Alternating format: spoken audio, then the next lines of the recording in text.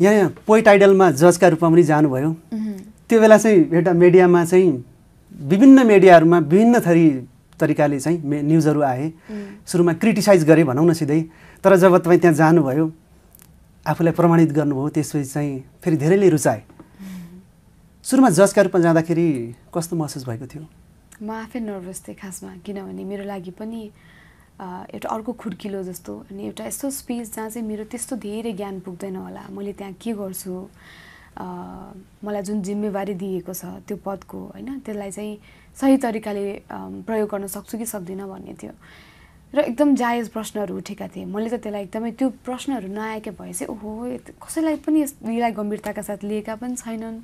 त्यो चेत पनि एकदम कम रहेछ भने जस्तो हुन्थ्यो होला। यो त एकदम राइट कुराहरू उठेका थिए त्यो बेला। त्यसले मलाई एकदमै स्वाभाविक थियो र एकदमै मलाई झकझकाउनलाई पनि जरुरी थियो। किनभने मैले जस्ट अनादर रियालिटी सोको रूपमा यसलाई लिइनँ नि त।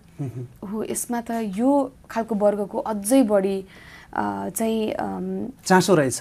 चासो छ। मैले पनि मेरो तर्फबाट गर्नुपर्ने जिम्मेवारी प्रिपरेसन भन्छ नि। अझ बढी चाहिँदो रहेछ। एउटा डान्स रियालिटी सो एउटा सिङ्गिङ रि अथवा हुन्छ नि अभिनय रिलेटेड रियालिटी सो भएको भए चाहिँ त्यसमा आफ्नो अनुभवकै आधारमा पनि बोल्न मिल्थ्यो। तर यसमा त मेरो अनुभव पनि कम छ। मैले एउटा साहित्य प्रेमी त छु म एउटा पारखी हुँ। तर त्यति मात्र त पर्याप्त छैन नि त त्यो कुर्सीमा बस्नलाई। र मैले यो प्रश्न गर्दै गर्दाखेरि मेरो अर्गनाइजिङ टिम अमन दाईहरूले के भन्नुभयो भने अब यसमा हामीलाई अर्को डाइमेन्सन पनि चाहियो। त्यहाँ अलरेडी हामीसँग त त्यत्रा वरिष्ठ कविहरू हुनुहुन्छ जसले कविताको बहु बहुपक्षीय आयामहरू त त्यहाँ ल्याइहाल्नुहुन्छ। तर यो त पर्फर्मेटिभ पोएटिक सो हो। सो पर्फर्मेन्स अभिनय एउटा पात्रमा बसेर पनि त्यहाँ चाहिँ कविहरूले पर्फर्म गर्नुहुन्छ। र त्यसको लागि चाहिँ तपाईँ एउटा राइट पर्सन हो भनेको हुनाले मैले सक्दो त्यो डाइमेन्सन लिएर आउने। चारजनाको चारवटा भर्जन आओस्। सो द्याट हाम्रो हामीसँग त सबै खालका दर्शक हुनुहुन्छ नि त। त्यसलाई सरल रूपमा दर्शक समक्ष पुर्याउनको लागि कविहरूले कविकै भाषामा भन्नु होला तर मैले दर्शकको रूपमा त्यो चिज बुझाउन सक्ने हुन्छु। र त्यसलाई त्यसरी राखौँ भनेर प्रयास गरेको के हदसम्म त्यसलाई अहिले चाहिँ अप्नाइदिनु भएको छ। ओहो ओके राइट डिसिजन रहेछ भनेर पनि हेरिदिनु भएको छ र अझै कतिले चाहिँ अझै पनि मिहिनेत गर्नुपर्छ भन्नुभएको छ। मैले त्यो दुइटै चिजलाई चाहिँ आत्मसात गरेको छु। कविता कतिको पढ्नुहुन्छ र कहिलेकाहीँ लेख्नु पनि हुन्छ? कविता चाहिँ म अलिक थोरै लेख्छु खासमा भन्ने हो भने। मेरो चाहिँ आर्टिकल्सहरूमा अलिकति गद्य शैलीमा त्यो त्यसरी लेख्न चाहिँ मलाई सजिलो लाग्छ। कविता साँच्चीकै गाह्रो विधा हो। थोरै शब्दमा धेरै चिज बुझाउन सक्नु कवितात्मक साहित्य छिराउनु। एकदमै गाह्रो कुरा हो खासमा। तपाईँलाई फिक्सन वा नन फिक्सन केमा बढी रुचि छ? दुइटैमा रुचि छ मलाई त कलाकारको हिसाबमा एउटा व्यक्तिको हिसाबमा। मलाई चाहिँ लार्जर देन लाइफ कुराहरू रियालिटीभन्दा अलिकति पर भएका कुराहरू इमेजिनेरी कुराहरूसँग अब क्रिएटिभ फिल्डमा छु इमेजिनेसन त हाम्रो पार्ट अफ लाइफ नै हो। र अर्को चाहिँ रियालिटी बेस्ड पनि समाजको नजिक रहेर माटोको नजिक रहेर जनजीवनको भाषा जनजीवनको चाहना त्यहाँ व्यक्त गर्न सकौँ कलाको माध्यमबाट। कला असाध्यै सशक्त माध्यम हो। हामी त अब नेपालमा रहेर हाम्रो अझै बेसिक चिजहरूसँग यति लडाइँ छ कि हामीले यसको सही शक्ति निहाल्न सकेका छैनौँ कि। सरकारी तयमा होस् हामी आफ्नै इन्डिभिजुअल तयमा उसमै रहेर पनि। तर यसको शक्ति जुन दिन हामीलाई थाहा हुन्छ र हामी त्यसमा बलियो भएर आउँछौँ त्यो दिन मात्र हामीलाई थाहा हुन्छ कि समाजका अरू पक्ष पनि बलिया भइसकेका रहेछन्। भनेर बल्ल थाहा हुने एउटा उदाहरण पनि हो। साहित्य पढ्न एकदमै रुचाउनुहुन्छ तपाईँलाई बौद्धिक नायिकाका रूपमा पनि लिइन्छ। पढेका मध्ये तपाईँलाई सबैभन्दा छोएको किताब कुन हो र त्यसमा आधारित भएर मुभी बनाउनु पर्दा कुन किताबलाई छान्नुहुन्छ? मेरो त त्यस्ता धेरै उपन्यास धेरै साहित्यिक कृतिहरू छन् जसले चाहिँ मलाई छोएको छ जन्मा जसमा चाहिँ चलचित्र बनाउन पाए पनि हुन्थ्यो म एउटा चलचित्रकर्मीको हिसाबले त्यस्तो लोभहरू जागेको छ। अब मैले रिसेन्ट टाइममा रिसेन्ट भन्नाले रिसेन्ट पनि होइन अब सेतो धरती लामो समय नै भइसक्यो होइन। त्यो मैले यति धेरै पढेँ कि किनभने कति पटक दोहोऱ्याउनु भयो? तिन चार पटक नै दोहोऱ्याइसकेँ। त्यति मोटो किताब? हजुर। किन पनि भन्दाखेरि यो बोक्सीको घर गरिराख्दाखेरि त्यो पात्रको नजिक हुनको लागि मलाई सेतो धरतीमा डिस्क्राइब गरेका कति चिजले मद्दत गर्ने थिए। मलाई नजिक पुग्नलाई त्यति बेलामा किताबको सहारा इमेजिनेरी सहारा यी सम्बन्धी बनेका कति चलचित्रहरूका सहारा हजुरहरूले भनेको जस्तै त्यो आर्टिकल्सहरू जसले साँच्चीकै बिताउनु भएको छ यो जसमा बितेको छ यो ती यी सबै चिजले मद्दत गरेका हुन्। त्यसैले ती भयो। तर मलाई बिपी कोइरालाको मोदी ऐन एकदमै छोटो पनि छ। छोटो पनि छ अनि त्यसमा फिल्म बनाउँदाखेरि गाह्रो पनि छ हुन चाहिँ अब किनभने त्यो बेलाको कालखण्ड। समयलाई देखाउन त्यति सजिलो त सहज त पक्का पनि हुँदैन। तर। बनाउन पायो भने चाहिँ त्यो एउटा साइकोलोजी छ कि। सैनिकको श्रीमती भएर त्यो रहर छ। सोचेको चिज। होइन कुरुक्षेत्रमा कुरुक्षेत्रको लडाइँ आफ्नो ठाउँमा छ तर एउटा थर्ड पर्सपेक्टिभबाट त्यो निहालेको एउटा व्यक्तिको कथा। अहिले अब यस फिल्मको प्रमोसनमै व्यस्त हुनुहुन्छ। किताब पढ्न पाउन त भ्याउनु भएको छैन अहिले कुनै। रिसेन्ट टाइममा धेरै भएछ नपढेको। सेतो धरती पश्चात एक दुईवटा लिएर हिँडिरहेको थिएँ करोडौँ कस्तुरी। अनि त्यस्तो छ तर भर्खरै मात्र साँच्चीकै भन्नुपर्दाखेरि चाहिँ हाम्रो विप्लव दाईले लेख्नु भएको हाइकु सङ्ग्रह चाहिँ मैले पढेको थिएँ। अ, साहित्यको तर्फको हाइकु नै भनौँ। मजा आएको थियो त्यो। प्राय कुन समयमा पढ्न रुचाउनुहुन्छ? मेरो एउटा सर्टेन समय भन्ने हुँदैन किनभने हामी चाहिँ कलाकारको रूपमा सेटमा हुन्छौँ अनि एउटा सेटबाट अर्को सेटमा अर्को सिन अथवा लाइटिङ चेन्ज हुँदा सर्टै चेन्ज हुँदाखेरि पनि धेरै समय पाउँछौँ कि। अनि त्यो बेलामा पनि पढ्छु। अब कतिजना चाहिँ रातको समयमा अथवा बिहान त्यस्तो लग्जरी लिभिङ टाइममा पढ्नुहुन्छ तर मेरो चाहिँ बेस्ट टाइम नै त्यो। त्यो टाइममा पढ्न मनपर्छ पनि अनि प्रायः जसो गरेर छुट्टी भएका दिनहरू जहाँ जुन दिन काम हुँदैन त्यो दिन पनि म पढ्ने गरेको छु। लेख्न चाहिँ के बढी मनपर्छ? लेख्न त सामाजिक विषय महिलाका विषयहरूमा चाहे त्यो कवितात्मक रूपमा आओस् चाहे त्यो आर्टिकलको रूपमा आओस् अथवा त्यो एउटा फेसबुकको स्टेटसै किन नहोस् हेर्दाखेरि स्टेटस होला अब त्यहाँभित्र त त्यसको साहित्य पनि हुन्छ त्यसमा होइन?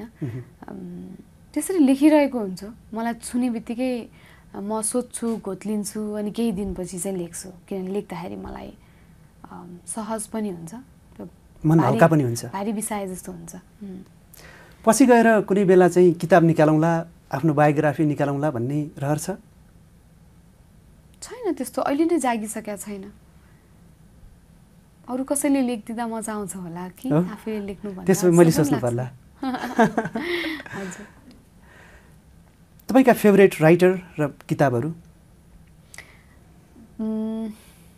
बिपी कोइराला पारिजातदेखि होइन अहिले आएर अब म- मलाई महेश विक्रमजीको मैले नजन्माएको छोरा जस्ता कृतिहरूले पनि छोएको। छापामारको छोरा ए सरी मैले नजन्माएको छोरा त पारिजातको। पारिजातको भयो छापामारको छोरोदेखि लिएर अहिले रिसेन्ट टाइम्समा मलाई सुबिन भट्टराईजीका कृतिहरूले पनि मलाई चाहिँ एउटा अर्को जमातलाई छुन सकेको त्यता पनि एउटा साहित्यको बीज रोपिदिएको जस्तो सो त्यो बेलादेखि अहिलेसम्मको मैले त्यति धेरै पुस्तकहरू त साँच्चीकै भन्नुपर्दा पढ्न पाएकै छैन।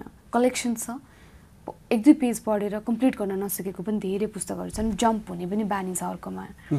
तानेन भने अर्को तानेन भने तान्दा तान्दै पनि अर्को पढ्ने बानी छ। त्यो मेरो अचम्मको बानी छ। एकदम एक्साइटमेन्ट हुन्छ। सिद्ध नसिद्धियोस् भनेर अर्को कुनै बिगिन गरेर सिद्धिनुभन्दा अगाडि त्यसरी पनि जान्छु म। पढेका किताबहरूमध्ये कुनै पात्र जसले तपाईँलाई छोयो त्योसँग रिलेट गर्ने भनौँ न यो यो किताबको पात्र म हो भन्ने त्यस्तो फिल भएको छ? त्यो त मलाई गुलाबी उमेरमा पनि फिल भयो।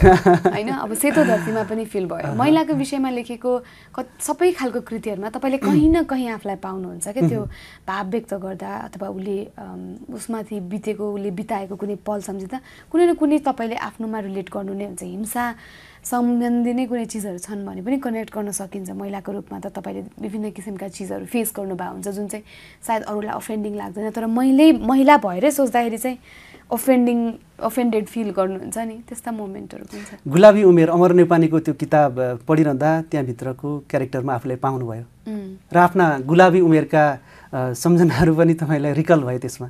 पक्का पनि हुँदो रहेछ। मजा आयो मलाई त्यो भएर पनि त्यो पुस्तक पढिराख्दाखेरि। नि त्यहाँ मेरो बालापनमा त्यो एडोलसेन्ट टाइममा लिएर गए जस्तो त्यो बेला ए साँच्चीकै म पनि यसरी सोच्थेँ। त्यो बेलाको त्यो फुलको बास्ना नै अर्कै लाग्ने त्यो बेलाको हेराइहरू सबै अलग लाग्ने। जीवनमा के हुन्छ थाहा छैन तर त्यो प्रेजेन्टमै रमाउने आफैसँग रमाउने हुन्छ नि। नयाँ नयाँ चिज एक्सप्लोर भइरहेको हुन्छ अनि आफैभित्र पनि बाहिर पनि। अनि त्यो सबै चिजको मजा जुन त्यो समयमा गरिएको थियो त्यो चाहिँ रिकल भए जस्तो भयो त्यो पुस्तक पढ्दा। टिनेज वा किशोर वयका दिनहरूलाई कसरी सम्झिनुहुन्छ? के कुरा बढी याद आउँछ? टिन एज मेरो एकदमै धेरै अध्ययनमै बित्यो खास किन भन्दाखेरि अब स्कुलको बेला अब तेह्र वर्षको उमेरदेखि हेर्दाखेरि एकदम पढाइमा रुचि राख्ने स्कुलको फर्स्ट गर्ल भन्ने बित्तिकै त्यो कस्तो खालको हुन्छ? आफैसँग आफै कम्पिटेटिभ भइरहेको जस्तो म त यही म त जित्नै पर्छ म फर्स्टै हुनुपर्छ भन्ने त्यो लोभ बढी जागेको जस्तो अनि त्यही नै जिन्दगी हो जस्तो हाऱ्यो भने चाहिँ जिन्दगी सिद्धिन्छ जस्तो लाग्ने के त्यो बेलामा? सेकेन्ड भयो भने सिद्धिन्छ जस्तो लाग्ने। स्कुलको फर्स्ट फर्स्ट गर्ल। अनि त्यो त्यो त्यो त्यो खालको सोच एउटा त्यो हुर्काउँदै गर्दाखेरि त्यसरी बाँचेकाहरूको एउटा छुट्टै खालको माइन्ड सेट हुन्छ एकदम धेरै चिज हातबाट गुम्छ पनि। त्यो ब्युटी हुन्छ नि त्यो आफूलाई फ्री छोडिदिने कुराहरूदेखि लिएर। विभिन्न चिज मिस हुन्छन् के? डिसिप्लिनमा बस्दाखेरि। त्यो बेला अब स्कुलको एक त फर्स्ट गर्ल त्यसमाथि अब राम्रो पर्सनालिटी भएको व्यक्ति लभ लेटरहरू कत्तिका आए। मेरो फेरि आफ्नै हाम्रो आफ्नै स्कुल थियो। हामी मैले जहाँबाट नर्सरीदेखि क्लास टेनसम्म पढेँ बाल सृजनालय आरुबारीमा थियो हाम्रो स्कुल अनि त्यसको प्रिन्सिपल बाबा हुनुहुन्थ्यो। अब त्यो हुने बित्तिकै त तपाईँले एउटा लिमिटेसन र रेस्ट्रिक्सन तपाईँको साथीहरू नै लिमिटेड हुन्छन् होइन? अनि तपाईँको अब त्यसरी नै त्यो त्यो उमेरमा पुगेर त्यो लभ लेटर्स अरू त्यो खालको इमोसन्सहरूमा प्रिन्सिपलको छोरीलाई लभ लेटर पठाउने आँट कमेको हुन्छ होइन। अब कम अब म फेरि आफैमा कस्तो खालको भने आइहाल्यो त्यस्तो भने पनि म सिधै बाबालाई लाइक? कम्प्लेन गरिदिने। एकदम त्यो नेचरको मान्छे त त्यो रङ हो जस्तो लाग्ने क्या सबै चिज। यो त राइट होइन जस्तो फिल हुने त्यो खालको थिएँ। प्लस टू पढ्दा वा ब्याचलर पढ्दाखेरि चाहिँ आयो? त्यस पछाडि प्लस टू पढियो प्लस टू साइन्समा पढियो। अब साइन्स स्टुडेन्ट्सको फेरि आफ्नै खालको साइकोलोजी हुन्छ। पढाइ बाहेक दिमागमा अरू केही चिज हाल्नै पाइँदैन भ्याइँदैन। खालि त्यो प्रोजेक्ट रिपोर्ट बनायो एभ्री डे पढ्यो पढ्यो पढ्यो पढ्यो पढ्यो प्लस टू सिद्धि खालको हुन्छ क्या। अनि त्यो बेलामा अभि अभियसली उमेर पनि त्यस्तै हुन्छ होइन? अब उन्नाइस बिसको उमेर। अनि त्यो बेला अब सोह्र सत्र अझ त्यो पनि होइन सत्र अठारको उमेर हो होइन प्लस टू भनेको त। अनि त्यो बेला चाहिँ त्यो बेला खास मैले साइन्स नपढ्नु पर्थ्यो जस्तो लाग्छ क्या अहिले? मलाई। चित्त बुझेको यो कति इमोसन्सहरू मिस भए। यो पढ पढाइको चक्करमा जस्तो लाग्छ। अहिले मैले कलाकारको रूपमा त्यो चिजहरू सम्झिनु पर्दा अब आफ्नो अनुभवबाट आएको चिजबाट त रियालिटीको नजिक पुग्न धेरै सजिलो हुन्छ नि। अब मैले इमेजिन गर्नुपर्छ अथवा अरू कसैले सुनाएको कथाको नजिक पुग्न पर्यो। धेरै कुरा भोग्न पाइएन त्यसमा। धेरै चिज भोग्न पाइएन लाग्यो। मिस भयो है? मिस भयो। लाइफ मिस भयो तपाईँले पनि त कसैलाई मन पराउनु भयो होला नि। मेरो त्यस्तो खालको स्टेटै स्टेट अफ माइन्डै भएन। भएन। स्कुल लेभलभरि फर्स्ट गर्लको रूपमा रहेको प्लस टूमा एकैचोटि आफ्नो स्कुल आफ्नो इन्भाइरोमेन्ट छोडेर अन्त प- अर्को कुनै अर्गनाइजेसनमा पढेको जस्तो हुँदाखेरि एकदम धेरै चुनौती महसुस गरेँ। गाह्रो पनि भयो एडप्ट गर्नको लागि। अनि अब त्यहाँ पनि जित्नुपर्छ जस्तो एउटा जुन चिजले गाँच्छ मैले अघि भनेँ नि त्यसको चक्करमा धेरै चिजहरू गुम भए। धेरै चिजलाई देखेर पनि इग्नोर गरियो। धेरै उब्जेका इमोसन्सहरूलाई आउनै दिएन अथवा दबाइयो। त्यस्तो भयो। अहिले चाहिँ सम्झिनु पर्दा कसैले पठाएको म्यासेज वा लभ लेटर ठ्याक्कै सम्झना छैन। कि अहिले भन्न नमिलेर? खासै आएन। फेरि हामी कस्तो भयो भने त्यो ठ्याक्क हामी प्लस टू पढ्दै गर्दाखेरि चाहिँ टेक्नोलोजीले फड्को मारिसकेको थियो कि। हामी चाहिँ पहिला चिठी लेखिन्थ्यो। पत्र पत्रबाट। अलिकति त्यो हाइफाईसम्म हाइफाई भन्ने थियो क्या त्यो बेला हाइफाई थियो। थियो अनि त्यो हाई फाइभमा हेलो हाईवाला एउटा नयाँ युगमा टेकेको जस्तो नयाँ चिज एक्सप्लोर गरेको फेजमा थियौँ। सबैजना त्यो जेनेरेसनको सबै एक्सप्लोर गर्दै थिए क्या त्यो लेटर लेख्ने फुर्सद सायदै कसैलाई मैले चाहिँ चिठी लेखेँ। तपाईँ अलिकति अगाडि पढ्नुभयो होला सायद त्यसो भएर मैले चाहिँ चिठी लेखेँ पत्र हजुर। मित्रका रूपमा। हाइफाई पनि चलाइयो। ए हजुर। जुन मजा आउँथ्यो चिठी लेख्दाखेरि अहिले फेसबुकमा म्यासेज लेख्दा मजा आउँदैन। किनकि हृदय चिठी लेख्दाखेरि त्यो कागजमा हृदयको भावना पोख्न पाइन्थ्यो स्नेह हुन्थ्यो महिनौसम्म कुरिन्थ्यो चिठी हात पर्नका लागि। तर चाहिँ जब फेसबुक आयो ट्विटर आयो इन्स्टाग्राम आयो त्यसपछि त्यो म्यासेजहरूमा पहिला जस्तो मजा आउन छोड्यो। ट्रु त्यसलाई म स्वीकार्छु। किनभने हामी पनि नाइन टेनसम्ममा पत पत्रहरू आएको थाहा छ। रेडियो टेलिभिजन प्रोग्राममा त्यो पत्र मित्र बन्नेदेखि लिएर पत्रको आधारमा कथाहरू पढ्ने कस्तो खालको टाइम थियो होइन। हामी त त्यसरी हुर्क्यौँ नि। अनि अहिले यसो सोच्दाखेरि हो त्यो टाइम नै बेस्ट थियो भन्ने लाग्दो रहेछ। तर सबैलाई आफ्नो बालापन आफूले अगाडि बिताएको समय प्यारो लाग्छ। अब अहिलेको जेनेरेसनको लागि प्यारो समय भनेको अहिलेको समय नै हुन्छ कि। आफू आफू जुन बेला हुर्क्यो त्यही बेलाको समय प्यारो लाग्ने त हो नि। नस्टाल्जिक बनायो है यो कुराले। पक्का भने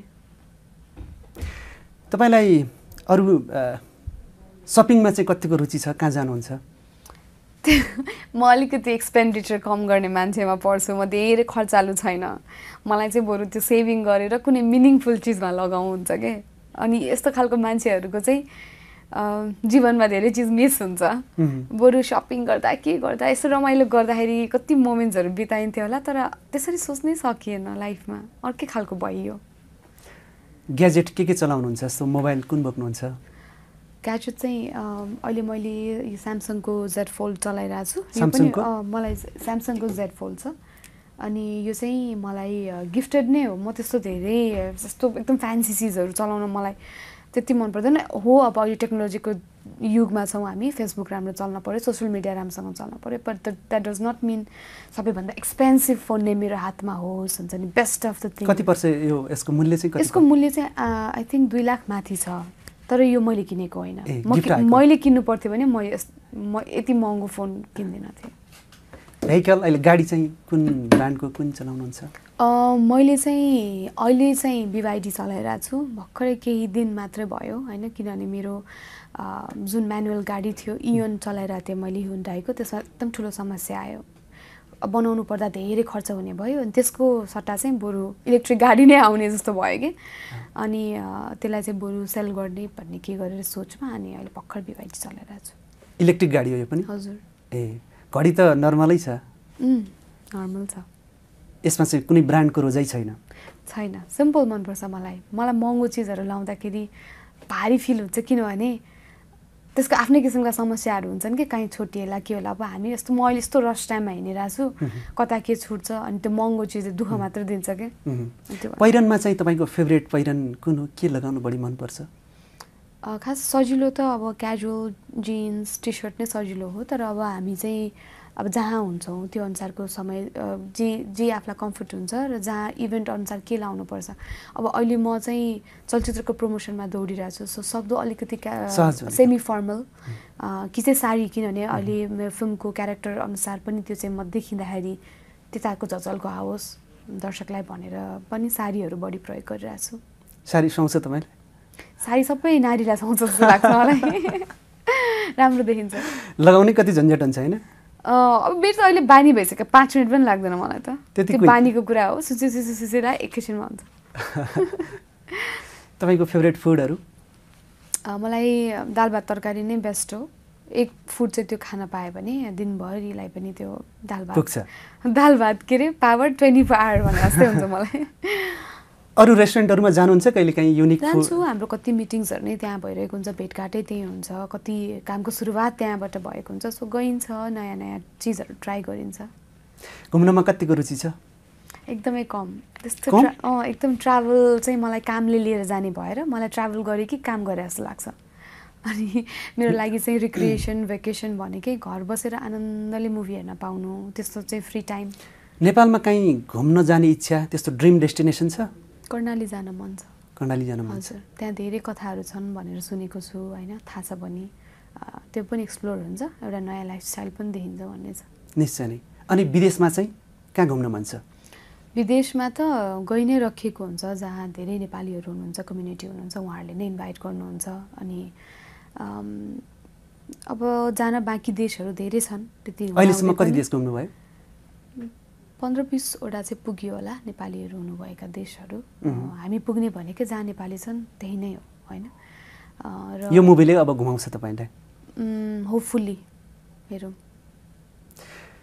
तपाईँको बारेमा त्यस्तो केही सिक्रेट कुरा जो अरूलाई थाहा छैन केही छ त्यस्तो? म टेबल टेनिस प्लेयर पनि हो। ए। खेल्थेँ म एकदम धेरै लेभलमा। अहिले चाहिँ? अहिले चाहिँ त्यो अहिले पनि खेल्छु अब एकचोटि खेल्न आएपछि आइहाल्यो होइन? तर त्यस्तो प्र्याक्टिसले त हो नि मान्छेलाई पर्फेक्ट बनाउने। प्र्याक्टिस चाहिँ छुटिसक्यो। तपाईँले एउटा इन्टरभ्यूमा अगाडि भन्नुभएको छ म संसारको सबैभन्दा लक्की नायिका हो भनेर। कुन अर्थमा?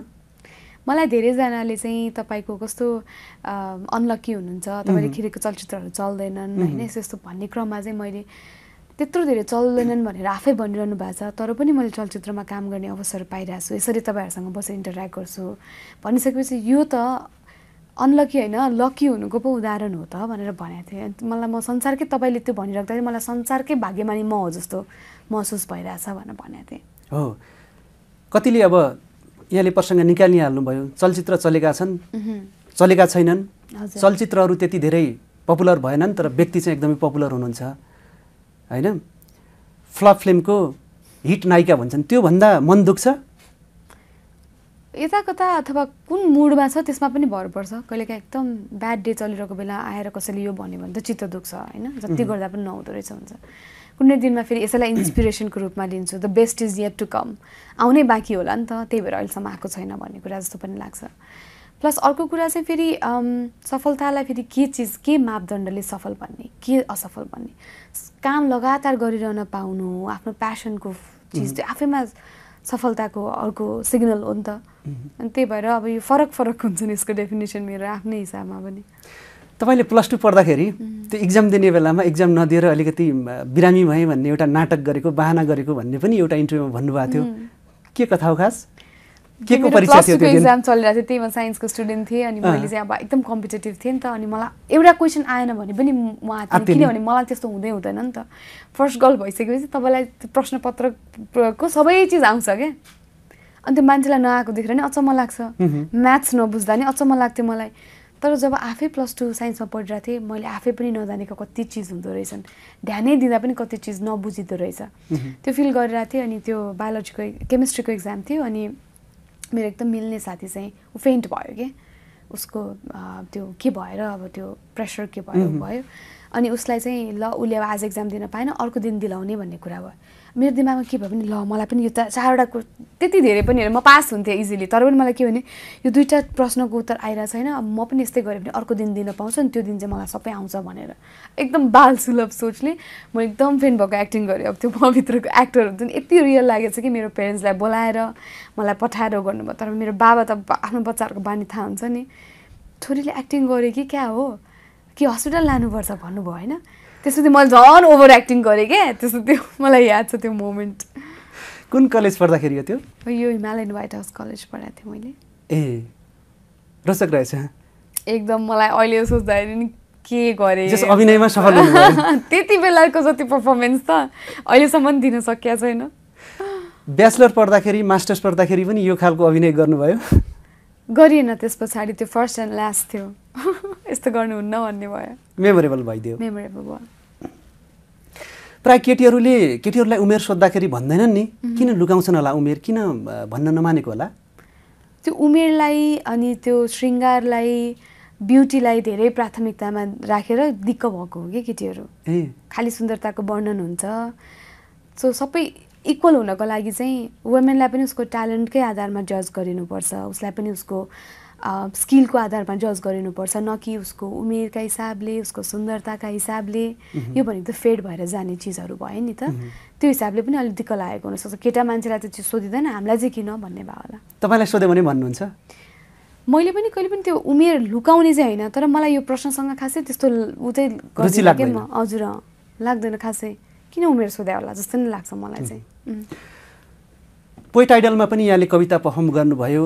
अहिले कुनै कविको केही लाइनहरू सम्झना छन्? केही सुनाउन सकिन्छ एकछिन? त्यस्तरी कण्ठ त छैनन् मलाई कसैको पनि। उम्, मुक्तक विप्लव प्रत्येकको हाइकु पढ्नुभयो। हजुर। अरू कविहरूको पढ्नुभयो। कुनै एक दुई लाइनहरू सम्झना छ? कविता भए पनि हुन्छ। याद गरिहाल्छु। म किनभने शब्द मिस नगरौँ उहाँले लेख कति मिठो लेख्नु भएको छ नि त। उम्, हुन्छ म ट्राई गर्छु है त।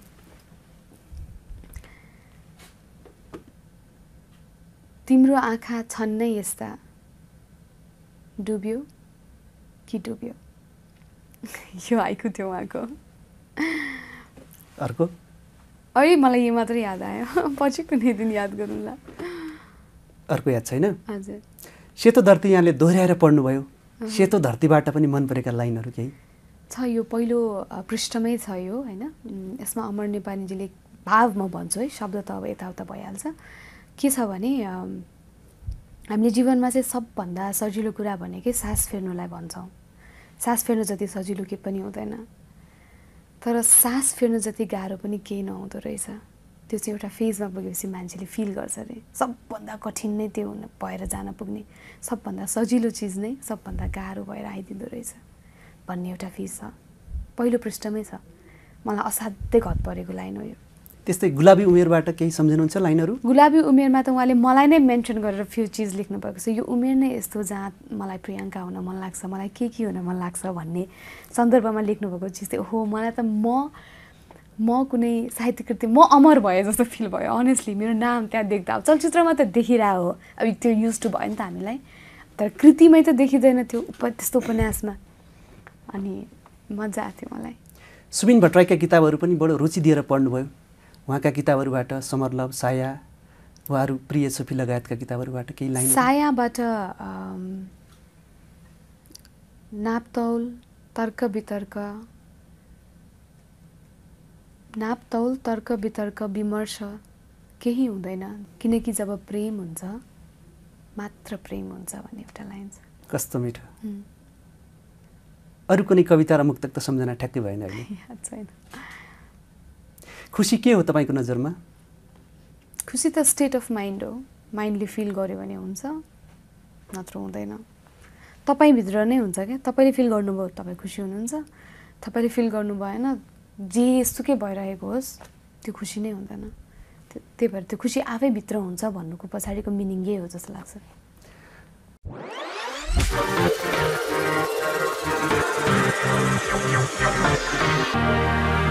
you.